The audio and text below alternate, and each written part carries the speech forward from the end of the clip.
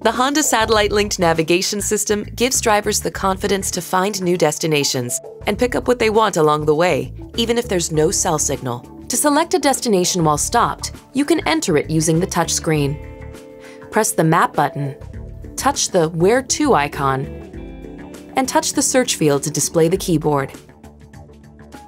Type in the street address and touch Done, then select the right choice from the list.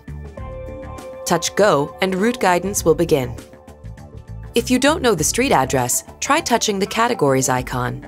Let's use restaurants as an example. Touch that icon, then narrow your search by touching a subcategory. Scroll down the list of places that appears, touch the desired restaurant, and select Go. You can use the voice recognition feature to set a destination while on the road. Press the talk button on the steering wheel and say Navigation. Then say Find Address. Next, say the street address, city, and state, just as you might read them off of an envelope. When a list of possible results is displayed, say the number corresponding to the correct item. Then say Go and route guidance will begin.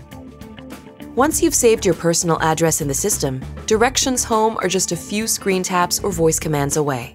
Press the Map button and touch the search icon.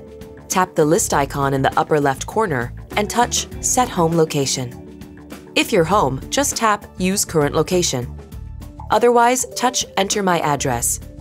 Input it, choose the correct suggestion from the list, and tap Select. Then, just press the Talk button and say Navigation, and then go home, and you're on your way.